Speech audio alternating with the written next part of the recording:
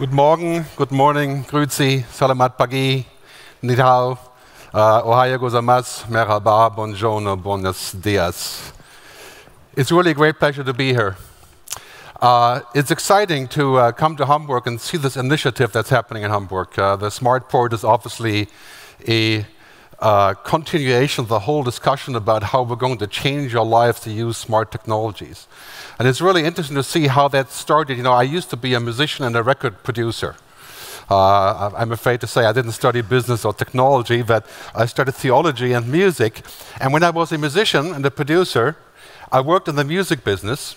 In 1999, some of you may remember Napster. Do you remember Napster, the free downloading tool, right? So that was 1999. I was in San Francisco back then. And the record company said, this is really bad because it changes our business model away from distribution. We cannot control distribution if we have free downloads, right? Turns out, today, all of the legal services in the world, Spotify, Deezer, iTunes, do exactly the same thing, right? Music is in the cloud. So it's very important to be able to look forward into the future. And this is what I want to do for you today. So my key topic is about digital transformation. Uh, and it's very interesting when you look around you, most of you probably have kids, right? When you look at your kids, there's a great uh, saying in China that says, if you want to know about the future, ask your children. Because children don't have an obsession with making money yet, right? Or having to make money. They can just look at what is and they can predict the future. Most of my work is not, however, to predict the future. Most of my work is to observe and then go forward five years from today and work on things that will help people reinvent. And I do this in many different industries. Many of you may not know what actually a futurist is, so I, I gave you an interesting uh, uh, sort of symbol of what I do. So I do a lot of listening. And I think this is very important for you guys also in your business because your business is a very long term business. You have to plan 10 years ahead, 20 years ahead, like the satellite companies that put satellites into space.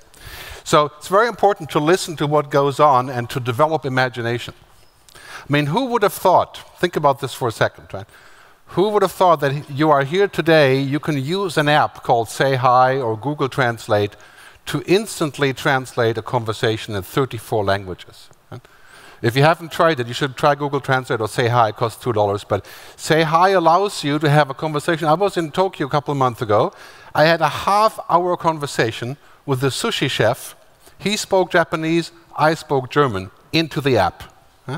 And it worked. It was not like Google Translate, but actually worked, right? So, science fiction, you know, you guys are probably uh, familiar with some science fiction movies, was actually a lot of science fiction is becoming true today. So think about all the things that we're looking at, for example, automated processes and uh, unmanned vehicles. You know, there are people saying that most airlines would be happy to not have a pilot. Huh? Well, they don't have to pay them, and there would be no unions, right? I guess, uh, I guess it's a good or a bad. You know, the robot would not join the union, I suppose. but in any case, because it's allegedly actually safer. Right? But how would you feel about flying in an airplane that is a robot? Right? I'm not so sure about that, right? whether that works or not. So technology and transformation is really important. Uh, my company is based in Basel in Switzerland. Um, I spent 17 years in America, but I'm from Germany originally, so if I speak too quickly and say too many things, that's the American speaking in me. So we do this for about 150 companies around the world. We help them to develop future scenarios and to observe the future. This is the most important slide of today. This is a slide depicting the fact that we live in an exponential world. Moore's law, you're familiar with, Metcalfe's law, and other laws like this. The development of technology is absolutely mind-boggling, right? When you count one, two, three, four, five, six, seven, that's actually a very linear progression. When you count one, two, four, eight, sixteen, like you do here, the changes are absolutely fundamental. And we're now at the takeoff point of the curve. Remember all the stuff we talked about 10 years ago, the paperless office, right? Didn't happen. Now it's happening. 20 years ago, the flying car, electric car, Flying, no, but electric car, right? Shared car is happening. And all the things we're, we're talking about takeoffs every, every week, there's a major accomplishment. A colleague of mine said the other day, this, this year will be the first year that one of the big oil companies will get out of the oil business to go into sustainable business. We're talking about exponential changes, I mean, mind-boggling changes that we're seeing. Humanity will change more in the next 20 years than in the previous 300 since the Industrial Revolution. And some of that is actually pretty scary. And when you think about that, how machines are taking over our lives, right? You know, when you do research and you talk to people, uh, Facebook users, for example, between, say, 15 and 30, and kids, if you ask them who is your favorite person in the world, what is your best friend, you know what they say? My mobile phone. I mean, the changes that we see happening here. Uh, some of you, again, going back to your kids, if you give your kids a CD or a DVD for Christmas, they will call a therapist. Right? They'll say, What is wrong with you? Where have you been? Nobody has these stupid plastic things. Any still, anybody still buy CDs here? Sorry about that. Yeah, it's, yeah, it's Anyway, I mean, now you, now you can use a mobile phone. You can, have, you can use an, an app to get divorced, just in case you're in need. Uh, there's 35 apps to get divorced on the mobile. Huh? I mean, it's too late for me. It's already passed behind me. But So what happens here is that humanity changes so quickly because of technology. And this has great impact on shipping and ports, of course, as we've been discussing on every facet of your business. Some of it's scary, other ones not so scary. But with technology, the question used to be years ago that we would say, okay, um, you know, we, we have to see if technology can actually do this, right? if it's possible. That was always the top question. For example, can we connect to the cloud? Can we find a way to connect the ship to the internet in the middle of the ocean? And now the answer is just simply yes. Right? Whatever you want to ask, the answer is yes. Can we put nanobots in your bloodstream to fix your cholesterol? The answer is can be done. There are some side effects, probably. Can we eventually cure cancer by changing the genes? The answer is probably yes. So now the question of technology has become different, right? Take this thing called Uber. Anybody here know Uber? Right? It's a great taxi service that is a peer-to-peer, -peer, like sharing rides and stuff using internet and mobile. Right? Here's an interesting fact. The Columbia University study said that if you had a, a fleet of 9,000 autonomous cars in New York, you could get rid of all the taxis. 9,000 autonomous cars uh, correlated through the cloud and mobile devices would cover all of the traffic with an average person wait, waiting 36 seconds and the fares being 50 cents per mile.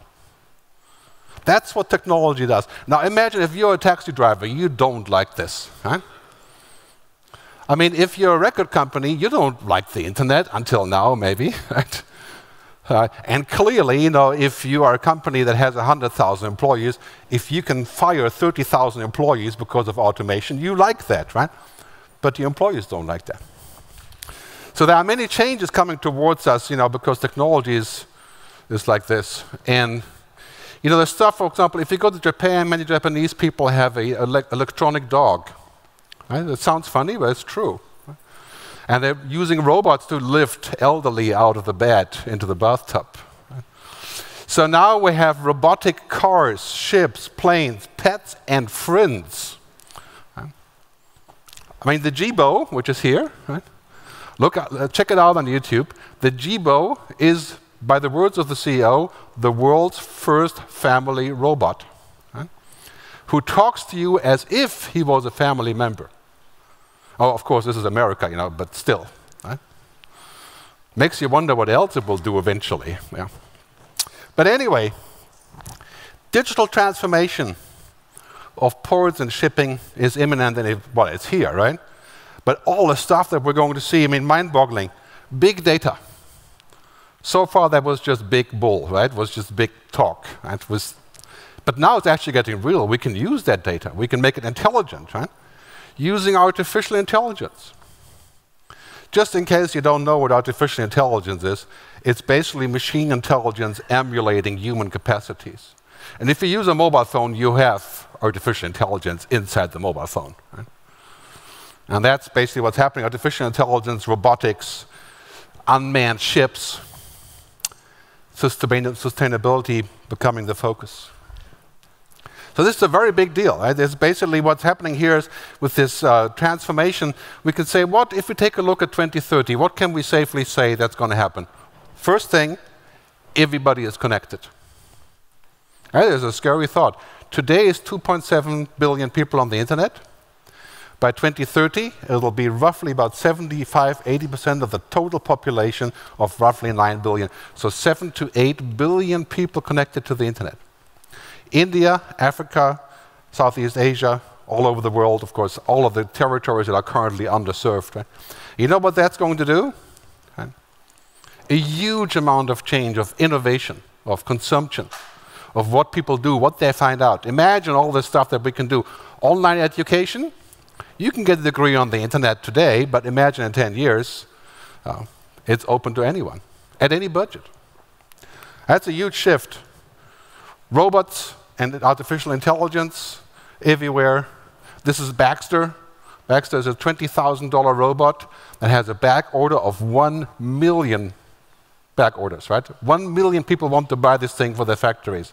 I mean, if you're in China, they're buying Baxters by the, thousands, right? It's the first robot that you can actually train. Uh, nanotechnology, and of course, 3D printing. You think this is a joke, eh? right? 3D printed food? It's not. Eh? It's just as bad of a joke as downloading music over the internet.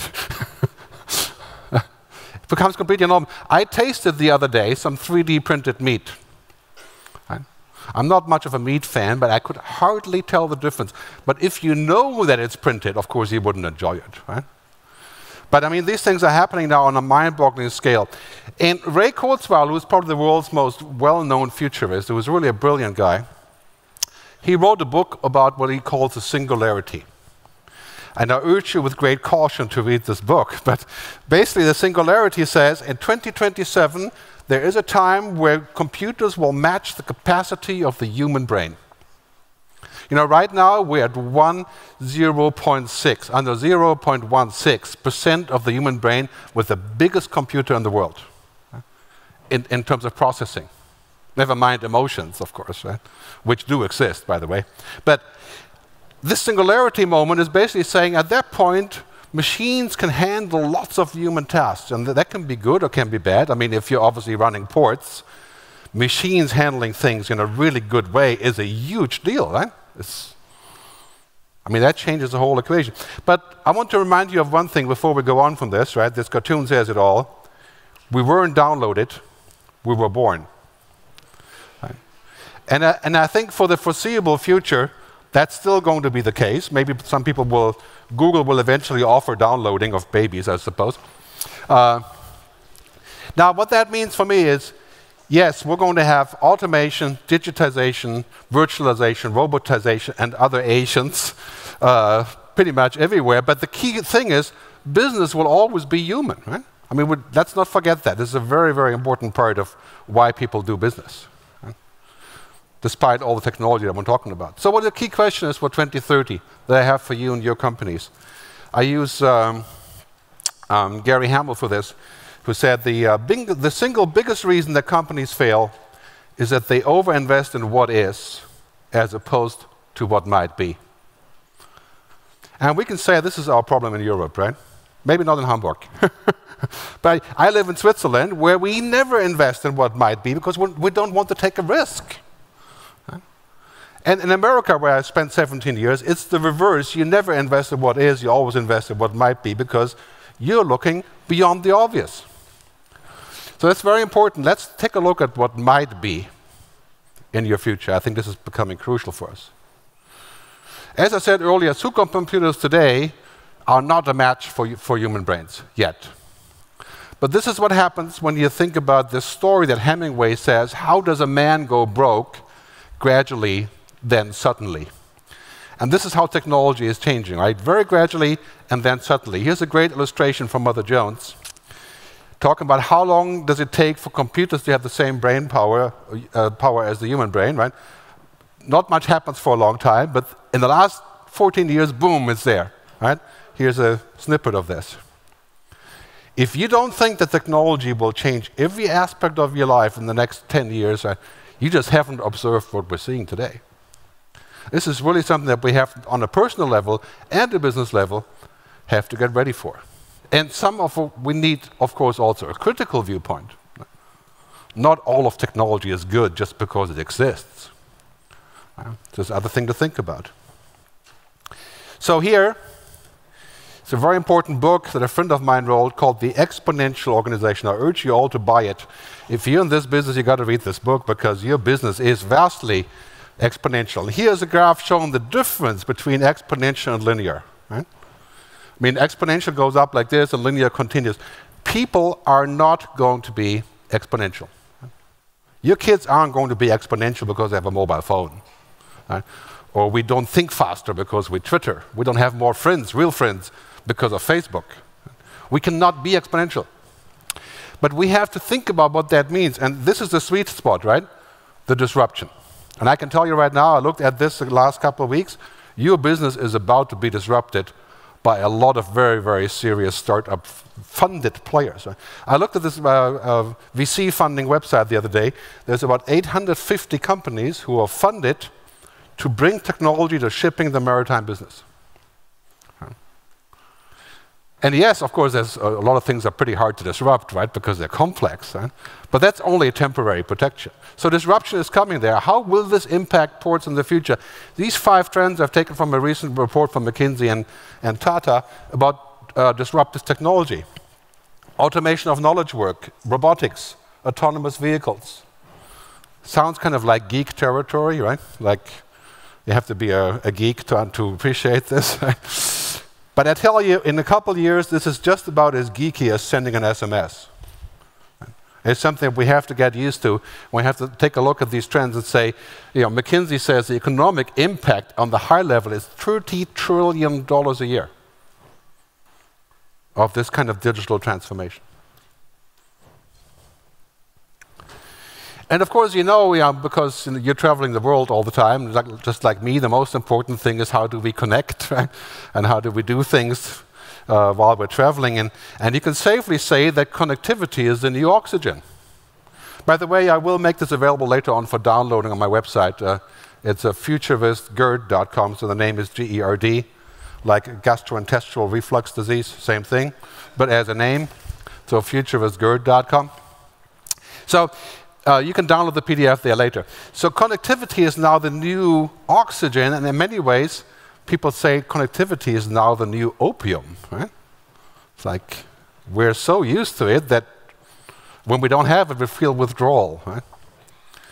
And the Internet of Things will really make that worse or better, as depends how you look at it. And wearable computing, right? being, being able to compute without wearing, having to hold the device. Uh, Microsoft has a great project called the HoloLens, which you may have seen, which allows you to put a visor on, like, like Google Glass, but better, and see the data around you. Imagine if you had that in a port. It's like having a supercharged human being with all the information on top and videos and overlays and data feeds and, you know, that kind of thing is coming. So this is point number one. If you're in a ports business, connectivity, right? Ultra high connectivity. That, that feeds everything and of course on the ship as well. The other two points are this. Everywhere around us, we see automation. It's really quite simple. Anything that can be automated will be automated.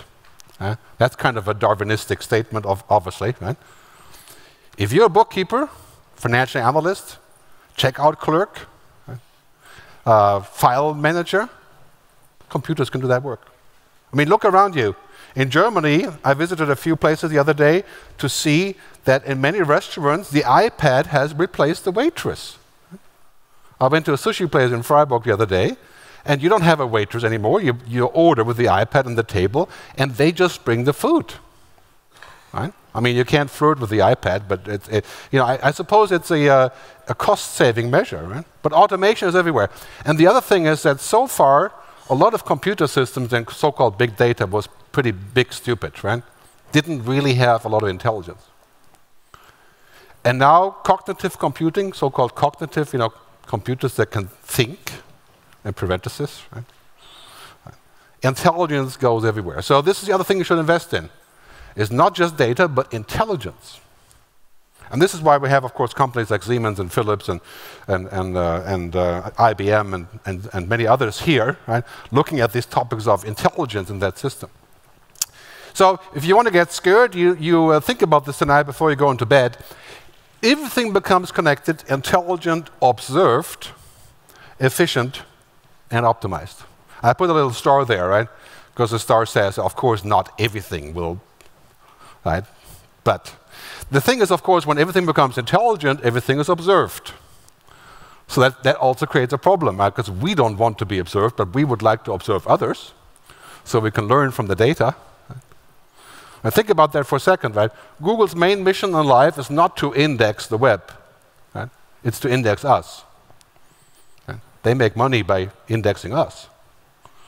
So in the shipping business, this means that everything that happens can be connected, observed, optimized. And this is all going to happen in the next five to 10 years. Again, some of that is a critical issue when it's about jobs, right? You will have less people in the end working. There's no doubt about that, right? But you will need many other people working other jobs. Data scientists, privacy managers, you know, people who do new jobs that don't even exist yet. Here's a good colleague of mine, Jeremy Rifkin, which I urge you to read his, read his books. He says the Internet of Things means we have to turn infrastructure from dumb into smart. Does that ring a bell for you? Turn infrastructure from dumb into smart. And you know, the funny part is, I looked at some of your profiles before I got here. We also have to turn ourselves into from disconnected to connected. It's very little activity here on social networks or Twitter. It's very interesting that it's kind of like a separate world, right? It's not just the infrastructure, but also us, right? We have to get connected. We have to get into those things that are happening outside and turning infrastructure from dumb into smart. The Internet of Things will be an $8.9 trillion market, according to this research. I think it's from IBM or from Cisco, actually. 227 billion connected things. Did you know there was research the other day saying that if Unilever and Procter & Gamble combined their logistics and used the Internet of Things, they could save 50% of global logistic costs. I mean, talking about a profit here, right? I mean, yes, it would not be easy to do with competitive forces, obviously. Right? But the Internet of Things, mind-boggling what we're going to see there. Pretty much everything that can be automated or digitized will be. You're seeing here on the left, of course, a thermostat that is digitized. The, the luggage ch check-in, where you just kick your suitcase into a hole, just goes away, right? Like in Amsterdam. Call centers. Do you know how many people work in call centers? 110 million. You know how many people will be left in, in 10 years? Two or three percent of those because software can, re can replace most of that activity. That's bad for the people working, but I think there'll be other options for them to find other jobs, I hope. But this automation is happening, right? And the most important thing is, in the process of efficiency, we should not delete humanity. Because humanity is how we do business. There is no reason to do business if the whole thing is a giant machine. Right? It's a machine buying from a machine. That would not be much fun. So we should not delete humanity in the process of efficiency. This is also very important when we think about labor. We should keep people working because it's human, even if we can replace them. And those that are replacing people to work with machines, maybe they should pay a tax for others not to work, right? Those things are all going to be discussed in the next few years. But everything around us, you know, looking at this whole uh, segment of maritime and ports, you know, will be e everything, automated, right? Smart, connected from customs to logistics, and of course to connectivity on the ship itself. I mean, that's quite clear, obviously. Uh, and this graph also shows what's happening is that basically everything around us is moving into the cloud. So let me ask a question here. Who in this audience streams music through the mobile phone? Who is streaming music like Spotify, Deezer, Simfy? Anybody? Yes, or YouTube? Or, I mean, yeah, I mean, it's basically music in the cloud, Books, right? All of you guys are reading ebooks. I'm pretty certain of that, right? Especially when you're a little bit older, it's great because of the, the screen. You can zoom and you can switch on the light, right? You know, Amazon sells three times as many print, uh, ebooks than printed books. It's a mind-boggling fact what's happening there. So everything is moving into the cloud. Our music, our films, our television shows, Hulu, Netflix, our books, our financial data. I mean, the banks are, of course, scared about this, right? Imagine if our money moves into the cloud. Cars move into the cloud. Ships move into the cloud, so to speak, in terms of connectivity. Very important point, right? Sensor networks for everything. I mean, if you look at what's happening here in terms of cost, this graph shows computing cost performance, right, going towards zero, essentially computing becoming almost free. And then this, this chart here shows how cheap it is to do a startup. Your competition isn't going to be the other guys in this room, the other ports, the other organizations. It's people coming from the outside, from a lateral point of view, and reinventing what you do by getting in through the back door.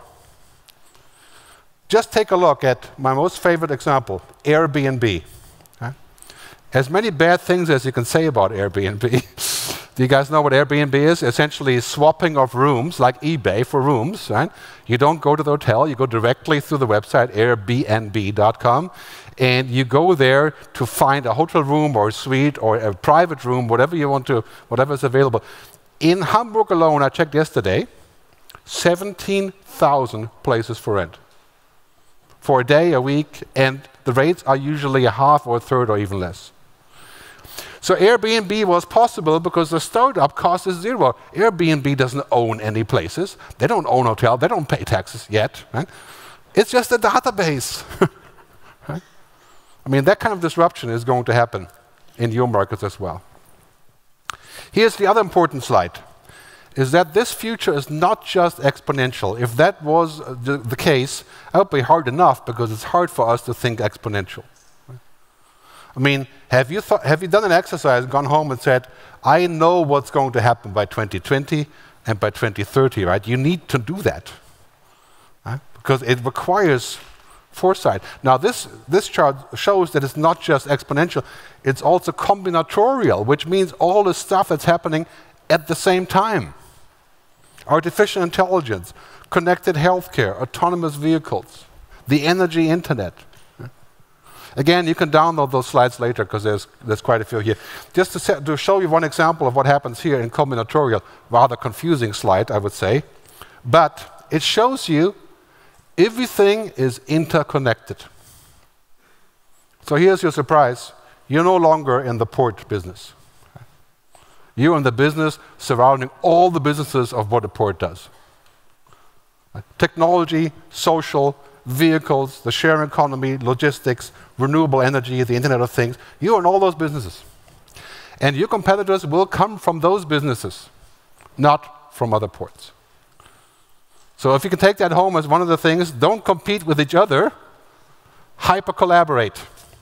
Right? Uh, this is a very, very important point. This is our future. Right? It's complex, it's moving, it's interdependent. In other words, your business model depends on many other moving parts. And the mission is to build an ecosystem.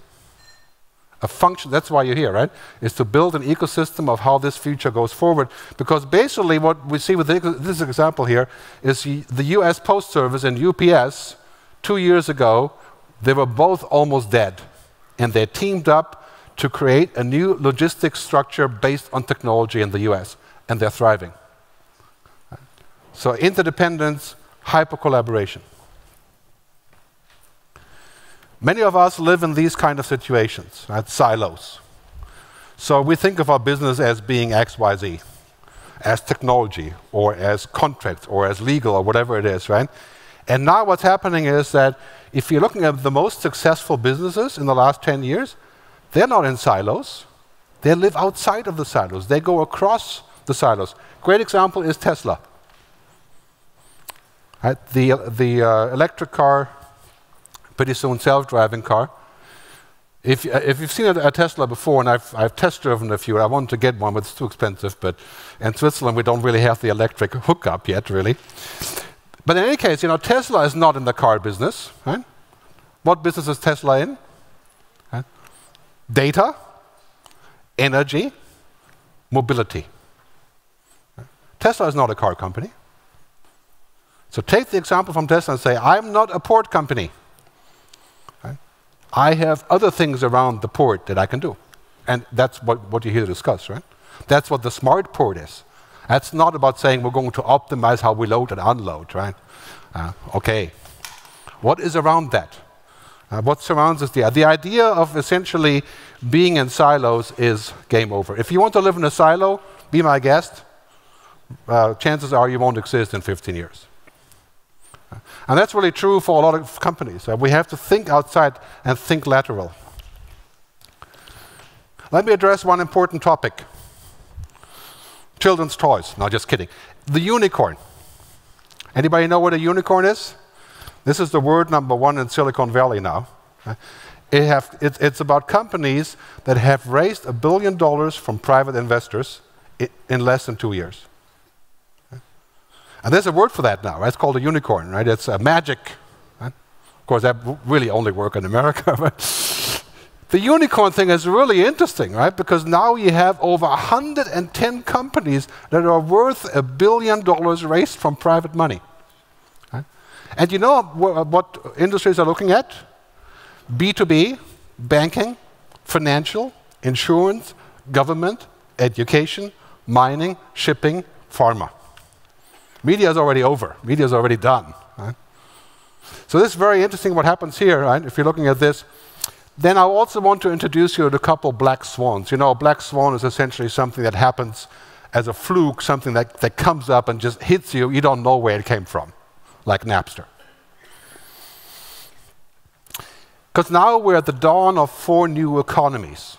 This is also very important to recognize and will cause you some thinking. Right? The first one is the maker economy.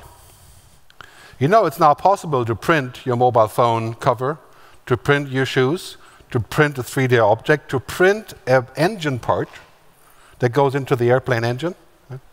It is now possible to print very complex things. In the next five to 10 years, we'll be able to print just about anything, really complex, including houses, right? China has a machine that prints houses. I saw it on YouTube the other day, it's mind blowing. What will happen if people need to ship less because they're printing? Do you believe that? You don't want to believe that, but you know. I don't know. It's a difficult question. Huh? The sharing economy. Americans, for the first time in 20 years, are buying less houses, and the so called millennials, you know, the kids that are around 30, they have less interest in owning a house, or getting a driver's license, or buying a car. They share it. It's called the sharing economy. I mean, if you're 50 like me, you're saying, what the hell is, I'm not, I'm not going to share my car. This is a stupid idea, especially if you live in Germany, right? And you would never do that. A car is holy, right? I worship the car. Uh, but now we have a kind of a disownership. People are talking about this a lot. And we have the circular economy, which is really gaining ground. This idea of a new logic, a, a, a capitalist logic called people, planet, profit.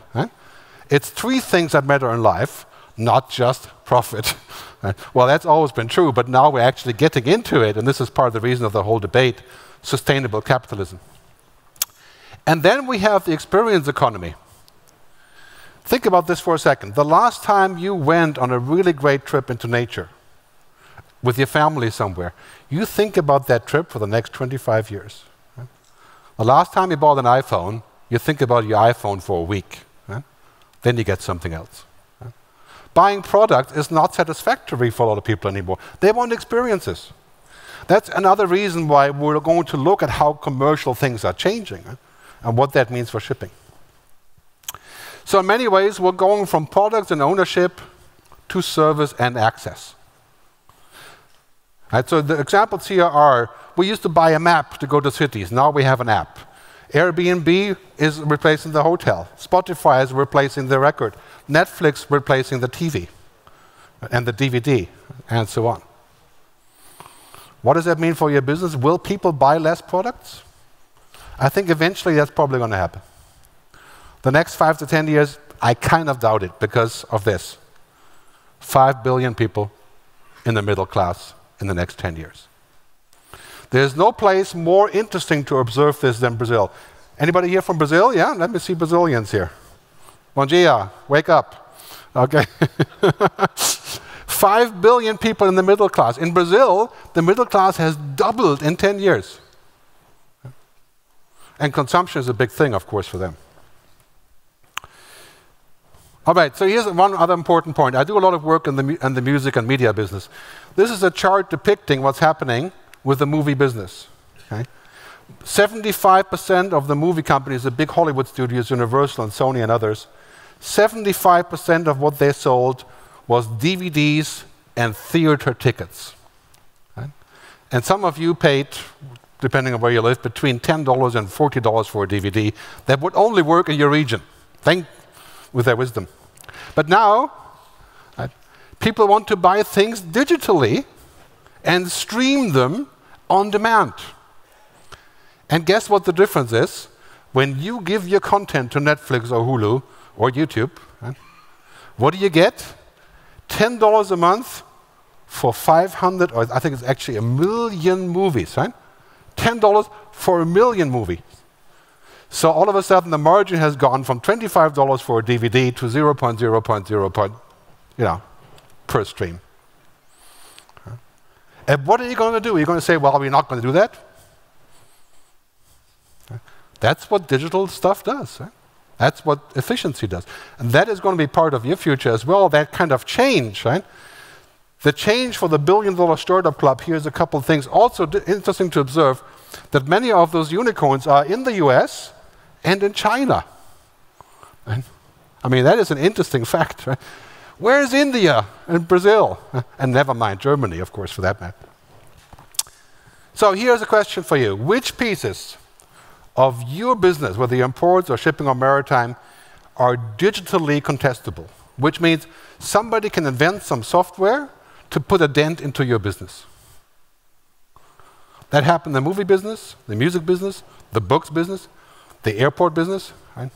I mean, people that are now inventing virtual travel, like telepresence and holograms, that is going to cut into airline travel. Not now, but when it's good.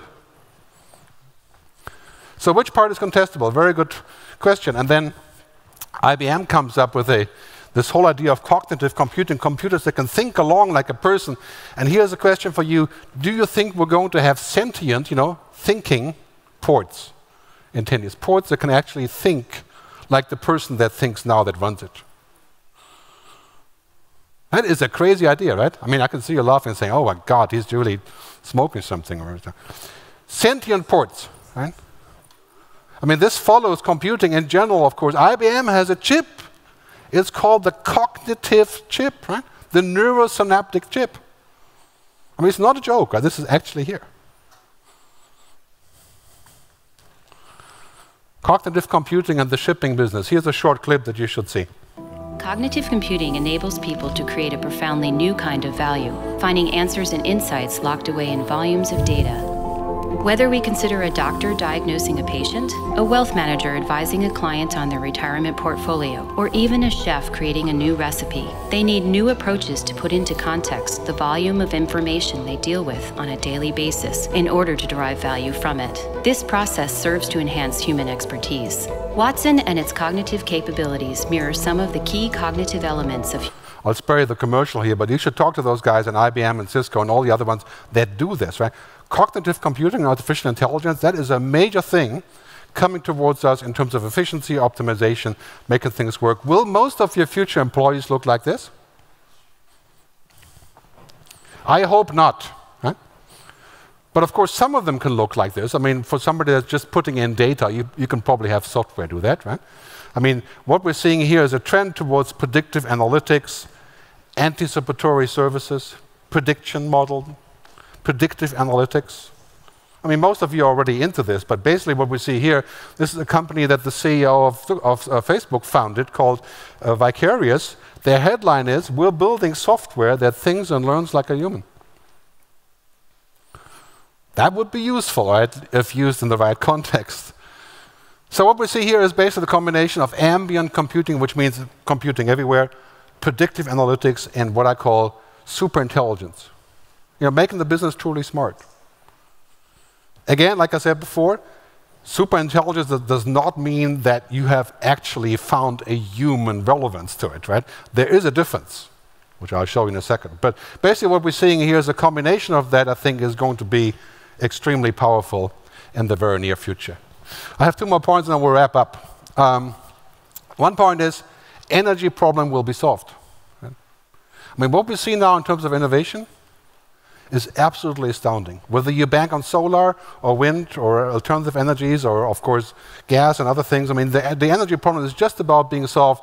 We're moving to a place, for example, in solar, where there's abundant possibilities and very, very low prices. Basically, every wall can be a solar wall and now we have batteries solved. So that whole thing is going to be a very big deal. In my view, sustainable is the new profitable. This is a very hard thing to understand because right now you get punished when you think about sustainability, right? Because it costs more. In 10 years, sustainable is the new definition of what a profitable company is. If you bank on this today, you'll get it back in 10 years. I can guarantee you that. Takes a bit of stamina to do that. I'll skip some of this. I, I just want to say one more thing about the, uh, the human part, right? Once we've reached efficiency and everything is optimized and everything is working well, which is roughly in about five to 10 years, then we say social and emotional intelligence, people, will be the key differentiators. We cannot drop the people out of the system, right? Because it's good to have this, but we also need this. Right? Who makes those decisions? What are the ethics? What are the values behind it? Keep in mind, business is 90% emotions and trust and values and relationships. Right? The rest is technology. And maybe technology will eventually be 20%, right? But not 90%. So that's kind of a, a, double thing that we have to watch out for. Uh, Kevin Kelly says machines are for answers, humans are for questions. Keep that in mind. Don't drop the question. just because you have a machine. Ultimately, that is our job in business, is to ask the right questions. Okay, I got to wrap up and, and come to the last part here. Uh, quick summary. We weren't downloaded, we were born, very important. Great quote from Gary Hamel. You have to look at what might be in order to survive the future. It's very important. Three to five percent of your time should be spent at looking what might be, not what already is. This is very difficult because we're all very busy, right? Clearly. But it's a survival skill. Five key uh, takeaway points. Change is increasingly, gradually, then suddenly. Don't sit back and wait for change to happen because by the time it happens, it's exponentially faster than you. Right? Wait and see means wait and die. Right? It's a very un German thing to say, I suppose, but. Also, expect exponential, combinatorial, and interdependent. You're not going to be successful by being independent. And this I say with my Swiss passport. There is no such thing except for Apple and very few other companies. Interdependence is the future. Think hyper collaboration, think ecosystems. Machines are for answers, humans for questions. And the last point examine the areas when you go home tonight where you are digitally contestable. Look at your business and say, how could somebody come in with a fancy piece of software, really powerful technology, and disrupt what I'm doing because that will happen in the next few years, right? whether you run ports or ships or maritime or pretty much anything else. So I want to thank you very much for listening. I'll leave you with this quote from Alan Kay. The best way to predict the future is to create it. Thanks very much for listening.